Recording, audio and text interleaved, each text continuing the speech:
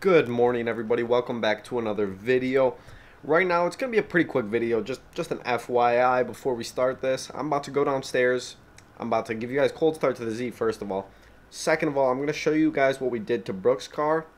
Third of all, got some updates on the Jeep. Not really, I don't know if I'm really going to speak about that because I got some new stuff coming in the mail that I'd really like to show you guys.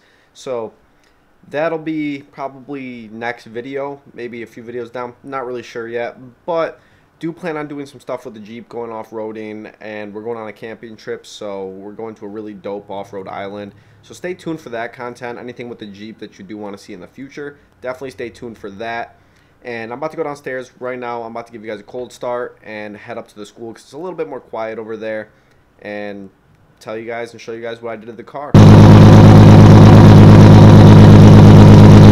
I also forgot to mention yesterday, I did pull the motor off of, uh, or not the motor, the front end off of Brooks' car. We're getting ready to pull the motor out. Our new motor is right here. Getting ready to pull this motor.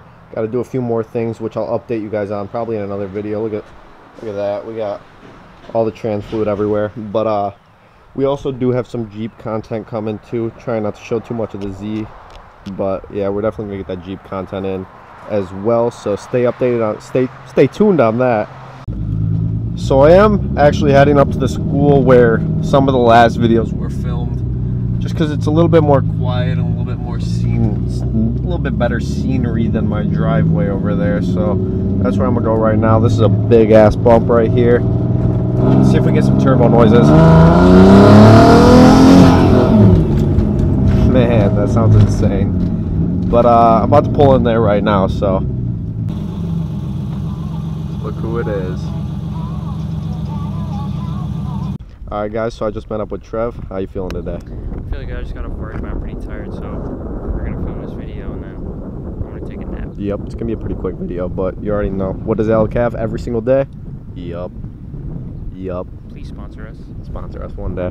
But uh, now I'm gonna show you guys exactly what is what I did to the Z, I guess. And I just feel. How do you feel about it? I think it looks better, to be honest. I, th- I think it completely changed the look of my car. I put two things on. Well, technically, did two things. Yeah, I guess. But I wrapped the hood. So look at that. We re-cleared the hood, and it just looks a ton better. The carbon, carbon's looking better. It's wrapped now. Leave down below what you think about that. I'm thinking it's looking pretty good. Yep. It Yep. looks so much better. It does. It really does. I resanded the whole hood down to get rid of some of those shits. And then the back here, I put this back on, which I should have done a long time ago. Both of these things, I should have done a long time ago. Because it really changes how the car looks to me. I think it looks a lot better. But what are we doing this weekend? Where are we going? Going to Roadkill. See Yep. No, I don't even I don't even know if he's gonna be there. Hopefully, that'd be cool. Colette, though. Colette's. Yeah, Klutz Racing. We're doing that, and then we're going up north, so we're gonna have hella content for you guys. And what else? Yep, Jeep Jeep content, Jeep content. I got some new stuff for the Jeep coming in the mail tomorrow. Gonna throw that on.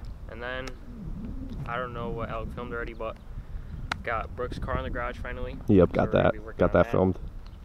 And then, and then bam. Bam, and then bam. Yeah, so leave down below what you guys think about this. I said it was gonna be a quicker video. It's a pretty quick video. I say four minutes tops.